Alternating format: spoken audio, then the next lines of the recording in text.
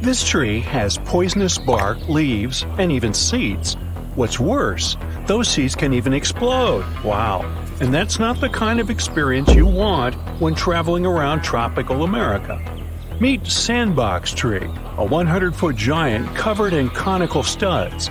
The tree itself looks unique, since the studs look almost like tiny pumpkins. But don't you dare come close and touch them. Mm-mm. Just contemplate it from afar. Once the pumpkin looking studs crack, they set the notorious seeds free. They travel at about 230 feet per second, and those have enough force to injure you. But hey, the sandbox tree is not that mean. It just doesn't want any competition, and that's why it tries so hard to send the seeds as far as it can, which is about 130 feet. So please stay out of the way. Some trees are so dangerous they even have a warning sign. For example, a manchineel tree. It pretends to be totally innocent, mm, and its fruits look like regular apples. But eating such an apple can be the last thing you do in your life. Well, that sounds serious. Touching this tree isn't safe either. I mean, even looking at that tree can be dangerous. Not kidding. And people can even banish it. Whoever tries to do that gets punished instantly. You try to cut the tree, it replies by squirting blinding ooze right into your eyes. Yeah, this sap can cause temporary blindness, and if it contacts the skin, you'll get burns and blisters. There's only one way to tame that tree. To do that, people first gotta burn the tree at the base and stand far away for sure. Then the fallen tree is left to dry in the sun. Once it's dry, it's safe to use. There are even used to be toxic pieces of furniture made of manchineel tree. Hey, pull up a chair. Now, this thing here, scientists call it jatropha fruit, but it's also known as black vomit nut. Ew. If you ever try to eat it, the first thing you'll experience is a burning feeling in the throat. Once it reaches your stomach, you'll have a severe stomach ache. The result can be terrible. It can cause severe central nervous system depression, and it's not about being terribly sad. It's a physiological state when the breath rate is affected, the heart rate is decreased, and the person may even lose consciousness, not to mention a more serious aftermath. Ah, look at these heart shaped leaves. They're so cute. Still, this tree's fruit isn't that cute. Pangium edule is native to Southeast Asia, and its fruit can be eaten, but it requires a lot of preparation. First, you need to grab those brownish clusters that look like pears. These are the fruit. Second, you need to boil the seeds. Yeah, you gotta get to those seeds through the pulp that looks soft, creamy, and possibly edible, but that it's not. Third, you need to either soak them or wrap them in banana leaves for 40 days for the hydrogen cyanide to be released. Yeah, that's great that hydrogen cyanide is slightly water soluble and can be sort of washed out once the seeds are boiled and fermented. But isn't that too much effort? The thing is, these seeds are usually added to some dishes, so they're more like a spice, not an independent dish. Nope, the hydrogen cyanide thing ruined it for me. Now, some fruits require a lot of additional preparation, while others can be eaten only when 100% ripe. Raw elderberry is rich in vitamin C, which is good for you, and cyanide, which is not that good.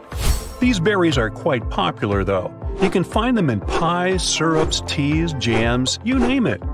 Fully ripe and cooked berries aren't dangerous. And nope, these berries aren't banned. National Jamaican fruit ackee has a truly unique taste. It's mild and buttery, and people who tried it say it tastes just like scrambled eggs. Just like with elderberries, it's safe to eat ackee only as long as it's fully ripe. So the importation of raw ackee fruit was banned in the US almost 50 years ago. The only edible part is the white creamy flesh itself. The pink flesh looks mouthwatering, but don't fall for it. It's highly toxic. Same with the black seeds. Well, let's interrupt this for a fun fact. People used to utilize ackee fruit for cleaning clothes, thanks to its laundering properties. Thing is, the fruit capsules have saponins that can create that lather we need for washing. Today, it's not that popular though, and very few people prefer it to manufactured soap. Soursop is one more fruit that doesn't seem to be available in the US. It's also referred to as guanabana and can release dangerous toxins leading to some very unpleasant consequences if not ripe.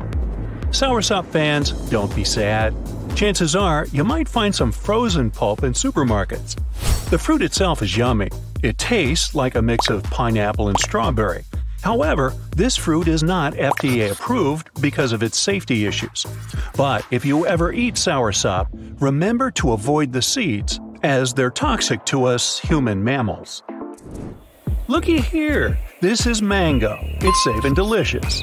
Now look over here. This one kinda looks like mango when it's green, but you certainly don't want to eat it. These fruits grow on a pong pong tree, and one kernel is enough to finish any human being. But who said we gotta eat them? They can be used for deodorants. However, there are safer antibacterial options out there, so we'd best leave the pong pong tree alone. Now, arboreally speaking, a tree doesn't necessarily have to be poisonous to be dangerous.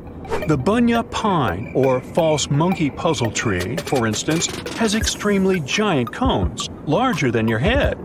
Imagine the size of the nuts those cones carry.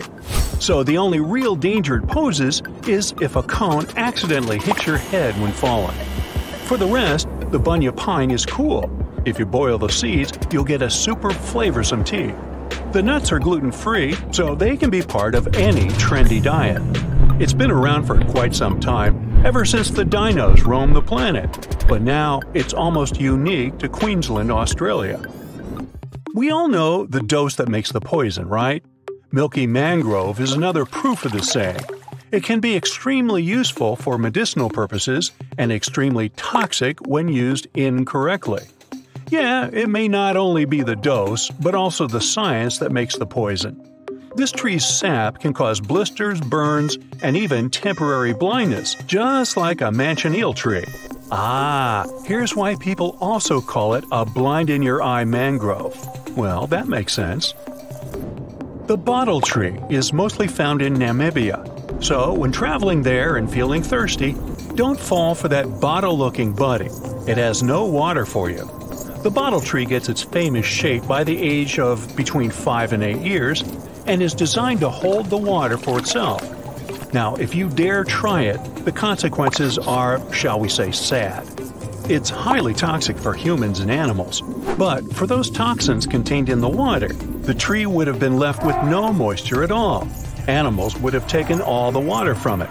To avoid it, the bottle tree developed a sort of protection mechanism, mostly from animals, and apparently from some humans too, to stay well hydrated. Good advice for everyone. The last, but not the least, Gympie Gympie. Now, you probably came across a stinging nettle at least once in your life. The aftermath of the contact with the stinging nettle isn't quite pleasant. Nobody likes rash and burning sensations. Well, it's possible to say that harmless looking Gympie Gympie, which is a distant relative of stinging nettle, has pretty much the same mechanism, but the consequences are different. It can even be fatal.